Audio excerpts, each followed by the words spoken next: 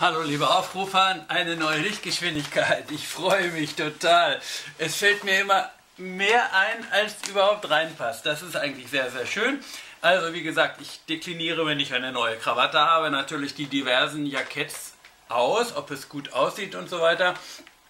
Und für alle, die jetzt hier nur das Bild haben, aber was außerhalb des Bildes ist, sich nicht vorstellen können, ich habe inzwischen eine Kameraposition, in der ich den Anzug, den ich trage, gar nicht tragen muss, sondern nur das Jackett. Das erleichtert mir, spare ich Zeit dabei, das ist natürlich immer gut. Dann gibt es hier etwas Neues, Plantagenkaffee Demeter im Sonderangebot.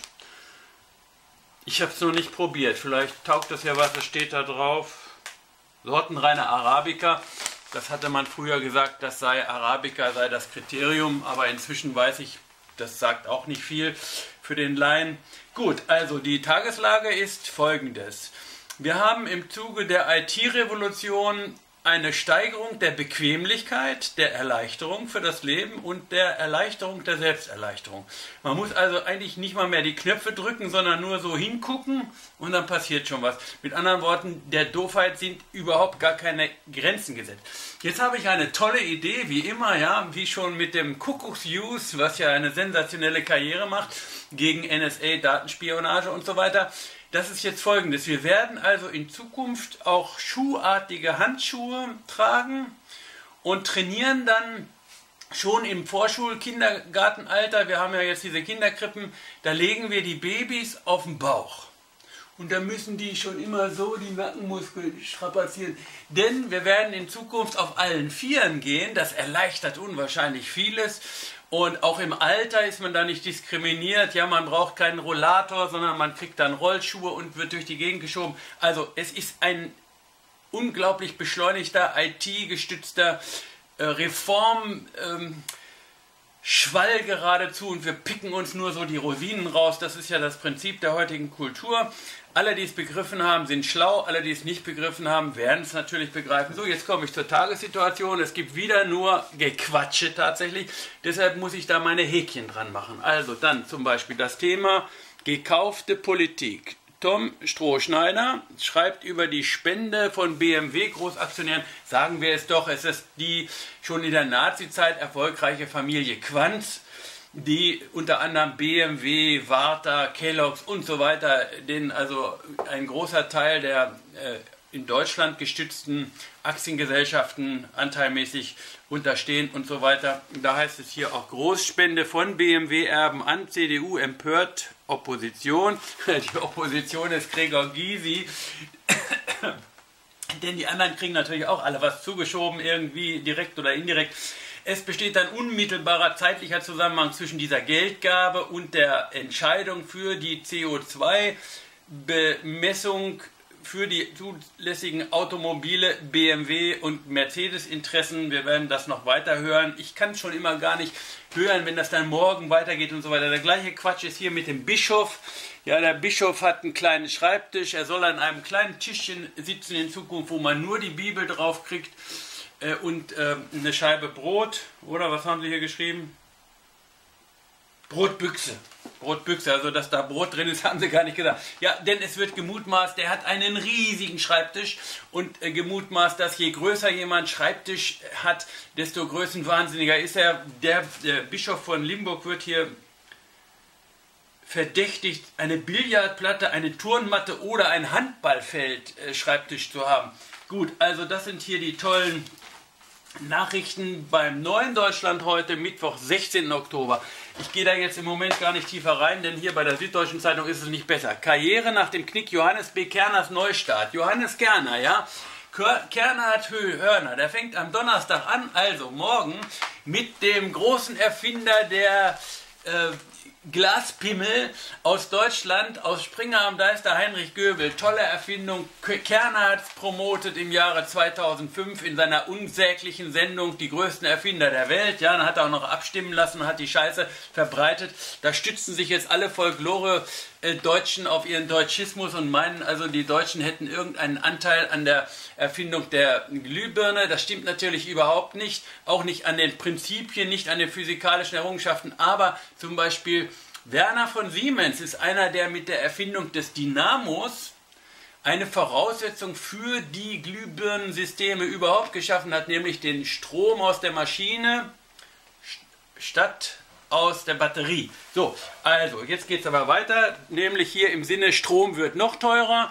Auch das kann man schon nicht mehr hören. Da wird immer gesagt, im nächsten Jahr die Stromumlage und da geht es angeblich die Kosten der Energiewende. Das stimmt gar nicht.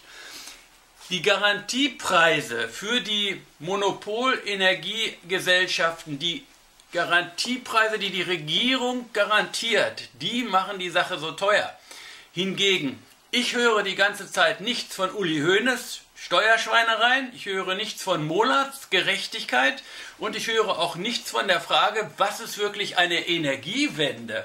Zunächst mal Atomausstieg, ja, liebe Freunde, wir wollen das nicht vergessen. Die Sache heißt Atomausstieg und nicht Energiewende. Atomausstieg. So, und dann brauchen wir aber unter dem Stichwort Energiewende eine wirkliche Energiewende und die hieße dezentrale Erzeugung des Stromes. Also dort, wo er gebraucht wird, wird er auch erzeugt in quasi lokalen Blockkraftwerken und nicht Backbones von der Nordsee, Hochsee bis nach Bayern. Alles Schwachsinn. Das ist keine Energiewende. Das ist weiter nichts als über die neuen Netze die Monopolisten noch mehr in den Monopol-Syndikatszustand zu versetzen, technologisch. Das ist kategorisch abzulehnen. Was Sie heute reden, ist alles keine Energiewende. Und auch wie die Grünen heute gesagt haben, sie könnten ja nicht mit der CDU koalieren, weil die Energiewende halbherzig ist. Nein, es ist gar keine. Und auch die Grünen bringen nicht die Argumente. Warum nicht? Ich verstehe es nicht. Was sind das für Grüne? Es sind Gekaufte. Es sind Gekaufte. Ja, anders kann es nicht sein. NSA A späht auch Kontaktlinsen aus, Kontaktlisten. Auch das kann man gar nicht hören. Die Frage, warum die Deutschen sich nicht wehren dagegen und der Frau Merkel auf den Tisch klopfen und sagen, Merkel, du bist gewählt, du musst uns beschützen. Nein, wir unterwerfen uns diesen Machenschaften und zwar unterwerfen im Sinne von, wir wissen gar nicht, was geschieht. Ja, ich kann ja Ja sagen zu allen Sicherheitsmaßnahmen, wenn ich weiß, welche es sind. So ist es aber nicht. Wir werden verarscht.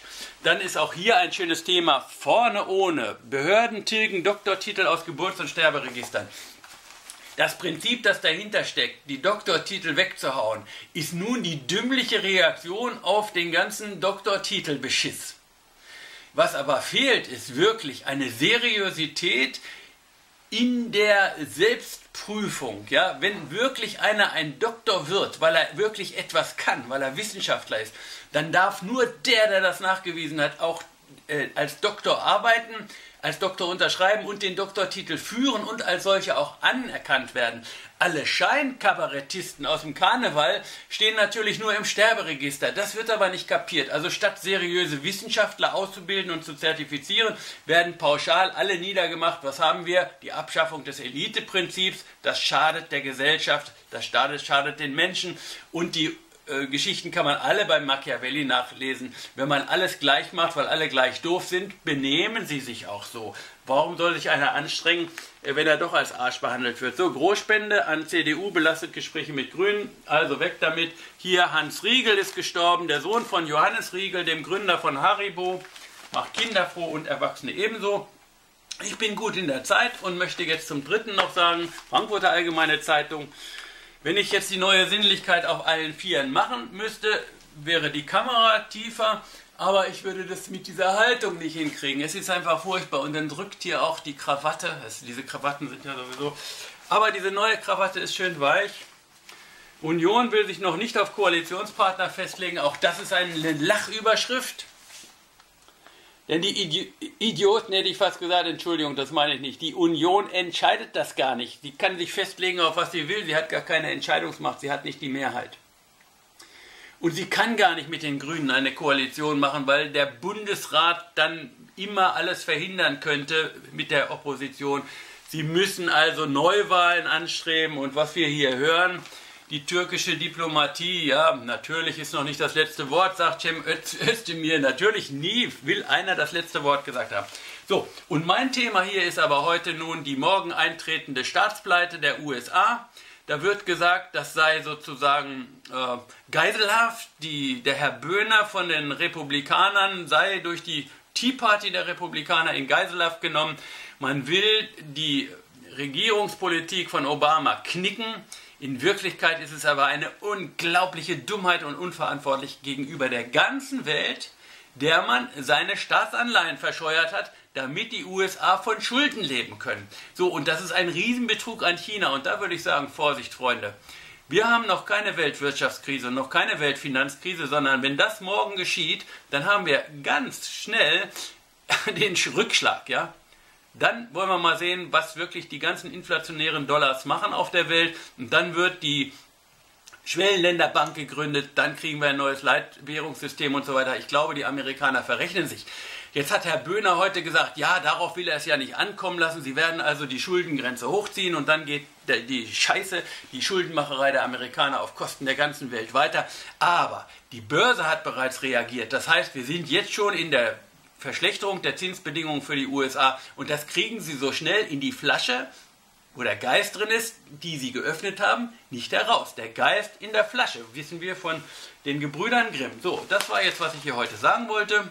Vorsichtiger Optimismus bei Atomgesprächen, diese Unwirklichkeit, die sie mit dem Iran mit Gewalt durchsetzen, finde ich unakzeptabel. Ja, der Iran ist ein Volk unter allen Völkern anzuerkennen und nicht einfach zu unterwerfen. Wie kann es sein, dass Israel sich anmaßt zu sagen, wer unterworfen wird und wer nicht? Also für mich nicht. Dankeschön.